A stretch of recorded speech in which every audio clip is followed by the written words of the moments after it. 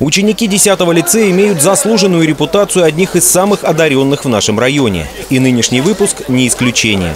Победители, призеры и участники Олимпиад разных уровней, региональные и муниципальные стипендиаты, обладатели высших баллов по ЕГЭ. По традиции выпускной вечер ведут сами лицеисты. Королем и королевой бала выбираются не только самые красивые, но и самые умные. Сцена становится не просто местом, где аттестаты переходят из рук преподавателей в руки учеников.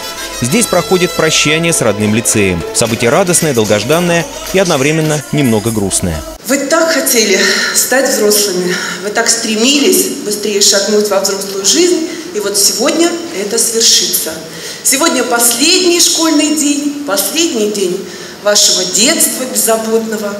В будущем у вас много интересного. Я желаю вам непременно встретить достойных вас друзей, чтобы вас окружали хорошие люди, добросовестные, чему могли бы вы поучиться у них.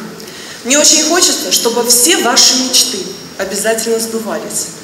Но если вдруг они не сбываются, то ничего страшного, значит вы достойны лучшего и большего. Позади долгие годы учебы. Именно с лицеем у ребят пока еще связано без малого две трети жизни и почти весь сознательный жизненный опыт. Впереди раскинулся большой взрослый мир, который из лицейских стен представляется таким красивым и значительным. Но любой зрелый человек знает, что чем дальше в прошлое будет уходить школьное время, тем милее и беззаботнее оно будет казаться. И от этого чувства ностальгии по товарищам, классному кабинету, учебнику с подрисованными портретом ученых очками и усами никуда не денешься. Однако сейчас им этого не понять. Сегодня им кажется, что вся Вселенная лежит у их ног.